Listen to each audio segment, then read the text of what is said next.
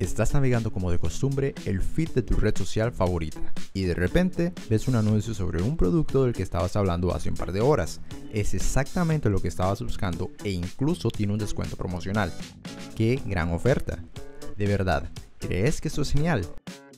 Bueno, ¿alguna vez te has preguntado qué datos se están recopilando para que veas este anuncio? ¿A través de qué acuerdos y bajo qué condiciones? Hablemos de un par de datos. Históricamente, el marco legal económico de los derechos de propiedad provino de la pertenencia de tierras. Luego se extendió a los derechos de autor y esta ha migrado a los datos.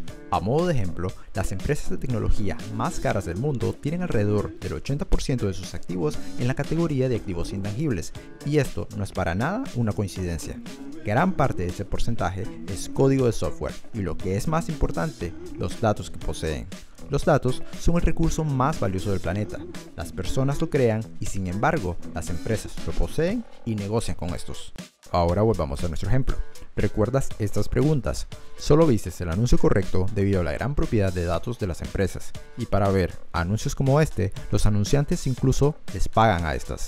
Después de todo, los monopolios de datos se enriquecen cada vez más al utilizar tus datos y tiempo.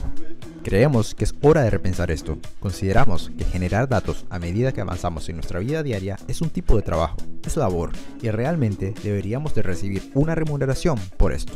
Y aquí es donde reside el punto central de la dignidad de datos. Unámonos y construyamos instituciones que nos permitan negociar por un precio de datos justo y estructurar adecuadamente la economía de datos.